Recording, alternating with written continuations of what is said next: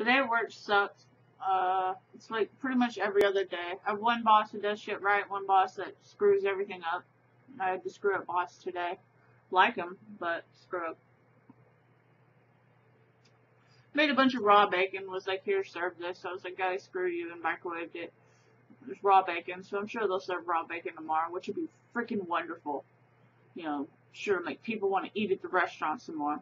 Then there was like four inches or five inches of grease in a fryer, which is totally lovely, you know, since the pan seems to leak, since nothing works. And then I asked this freaking girls to clean one little simple pan while I'm digging through five inches of grease and they can't even do that. I don't get paid enough. So there's no help. And then, um, they have this terrible tenant and the tenant's like uh, painting half the house black and uh, putting stuff on the air con air conditioner that shouldn't be there and uh, raking half the yard till it's lumpy and just doing messing up screens, messing up doors, breaking doors. You know, just break everything, why don't you? So I threatened to sue her today and sent her a letter that was certified and that says notified to self that I will sue your ass if you keep messing with me and I'm down 28 pounds. So go, Kimmy, go. You know, uh, and hopefully I should be making like a grand a month. You know, keep your fingers crossed because my checks better be okay. So I don't even play with them. Work too darn hard for my checks not to be like fair. You know. I don't know. I'm gonna drink my water and I'm gonna go to bed. I'm hungry. I lost 28 pounds, so I don't know. Do I look any less fat? Hopefully. like maybe 50 more pounds and I won't have my wiggle. Like, does it look any less fat? Still looks fat. It's like, uh, wiggle. Oh yeah, and I got something in the mail.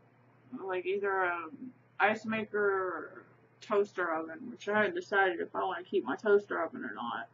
So I was thinking about just buying a real oven. But considering I have to save like $6,000 just to be safe, I may just return some things, you know.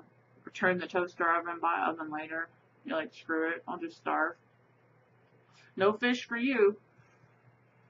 No freaking, uh, better learn to use a broiler. Huh, yeah, well, everything in life is broken. Everything in my restaurant is broken the ice boxes, restaurant, fucking. So tomorrow I'm probably gonna show up with a friggin' um, shop. And just start shop vacking because I'm sick of sweeping. Shop vacuum. And then what, $1,200 for a freaking tooth? They're crazy. For one crown. Ooh. Ooh. To bed. Remember, don't let things in life make you angry, just get even. I broke my cam and washed it also. We'll see. I'm gonna let it dry for like several days. We'll see how it does, you know. Note to self, don't put it in the washer. I might order another one, like a couple other ones, because I like them a lot. Best camera ever.